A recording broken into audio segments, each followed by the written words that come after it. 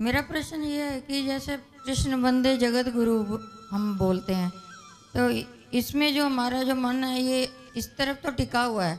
तो लेकिन जो ऐसे कलयुग के जीव हैं, इतने परम, हर जगह गुरु, जिस जगह देखो उस जगह नए नए गुरु नए नए तो उसमें बताते हैं। तो हम तो उधर जैसे जाना नहीं चाहते कई हमारे संगी साथी मिलते हैं तो हमें बोलते हैं, वहाँ बहुत वो होता है, वहाँ बहुत ज़्यादा मानता है लेकिन हम अपने को ये इस तरीके से अपने में टिका के रखने की हमें इतनी ज़रूरत पड़ जाती है उस समय कि हम उनको अपने आप को कैसे उससे ऊपर उठा सकें।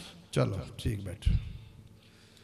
यदि कोई किसी के पति की ज़्यादा प्रशंसा करे कि हम अपने पति को छोड़ कर उससे प्यार करने लग जाएँगे? कहते हैं, कोई किसी की संत की ज़्यादा प्रशंसा करता है हमको कहता है, फिर हमारा मन उधर से हट के उधर लगने लग जाता है। क्यों? अगर किसी के पति की ज़्यादा प्रशंसा तुम लोग सुन लोगे तो फिर अपने पति से मन हट के वहाँ चला जाएगा।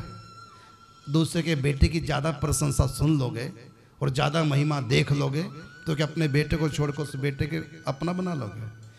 तो अपना गुरुजी चाहे बिल्कुल साधारण सा है, कुछ नहीं जानते बीसी। हमने दीक्षा ली है, लेकिन वो परंपरा से है, किसी न किसी संप्रदाय से है। यदि बिना संप्रदाय का गुरु है तो भले छोड़ दो। कोई दोष नहीं।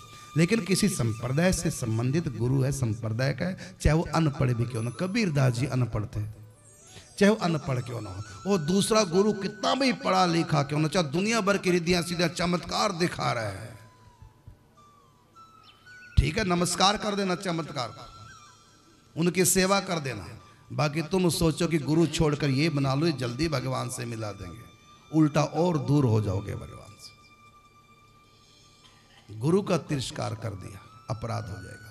यदि परंपरा से गुरु हैं, चाहे वो भगवत प्राप्ति भी ना हो, चाहे वो तुमको भगवत प्राप्ति करा भी ना सके, उनके पास कुछ भी पल्ले नहीं, लेकिन परंपरा से हैं। उन्होंने जो मंत्र लिया परंपरा से, वही मंत्र आपको दिया। तो आप परंपरा के अंदर हैं, आप संप्रदाय के अंदर हैं, वही आपका परम गुरु। यदि वो आपका कल्याण नहीं कर सकता, उसके गुरु कर देंगे। उनका गुरु भी नहीं करता, उसका गुरु वो भी ना करे, उसका गुरु करते करते मंत्र कहाँ से आया? इष्ट भगवान से। उनकी ज़िम्मेदारी बनती है फिर, उद्धार कर देंगे। इसलिए यदि परंपरा से, संप्रदाय से दीक्षा ली है, चाहे गुरुजी साधारण क्यों ना हो, भगवत प्राप्ति क्यों ना हो ना हो। और चाहे वो कह भी दे कि मैं, मेरे पल्ले कुछ नहीं, गुरु से जो मंत्र मिला था, तुम्हारी भावना देख करके तुम उसको दे दिया, बाकी मुझको खुद भगवान नहीं मिले, मैं तुमको क्या मिलाऊँगा? ये भी कह रहा है। और ये भी कहते मेरी कोई गारंटी नहीं, बस तुम्हारी श्रद्धा थी, मैंने इसलिए दे दिया। तब भी चिंता न करो, वहीं से तुमको भगवत प्राप्ति हो जाएगी, क्योंकि परंपरा से प्राप्त संत हैं। वो संप्रदाय के संत हैं। क्योंकि गुरु जब दीक्षा देता है और गुरु कई संप्रदाय से हैं, केवल उन्हीं गुरु की ज़िम्मेदारी नहीं, उनका गुरु उनका गुरु उनका गुरु करते करते करते मंत्र कहाँ से प्रारंभ हुआ? भगवान से। उनकी ज़िम्मेदारी बनेगी। तुम्हारा उद्धार करें। क्योंकि उन्हीं के मुख से निकला हुआ मंत्र शिष्य दर शिष्य होता होता तुम्हारे तक पहुँच गए भाई गाय और भैंस के थन से निकले दूध, उसको बेचे चाहे कोई भी। तुम ले लो। वो गाय का भैंस का होगा। लेकिन कोई बिना गाय गाय भैंस का डायरेक्ट कहीं से लोहे के डिब्बे से पाउडर घोल के बना दिया। अब वो निकला नहीं है गाय से।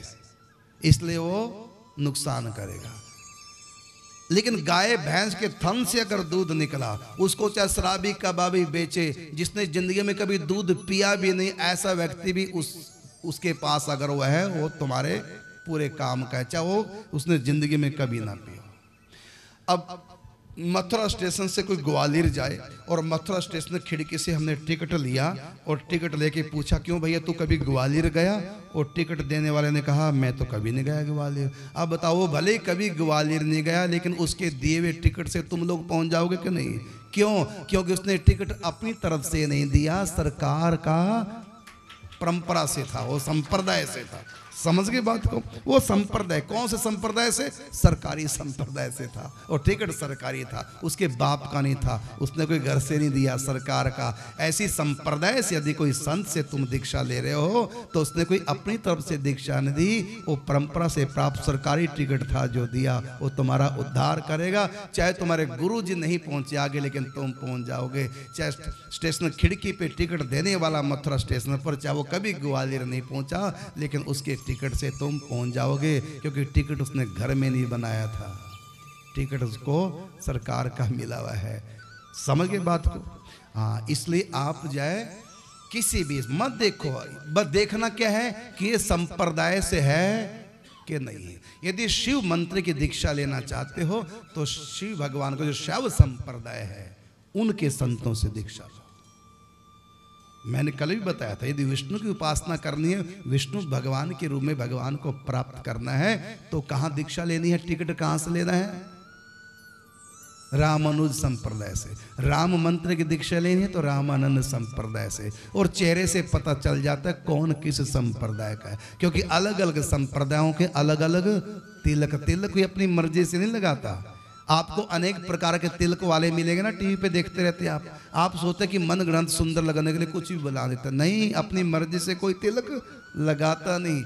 तुम सिंदूर अपनी मर्ज़ी से भर सकती हो, कुमारी लड़कियाँ। है? मंगलसूत्र अपनी मर्ज़ी से। कुमारी या पति वही ना पति की मृत्यु होगी। अपनी मर्ज़ी से लगा सकते, क्यों नहीं लगा सकते? क्यों हाथ में लकवा मारा हुआ नहीं लगा सकते? लगा सकती हैं। फिर लगाते क्यों नहीं? क्यों?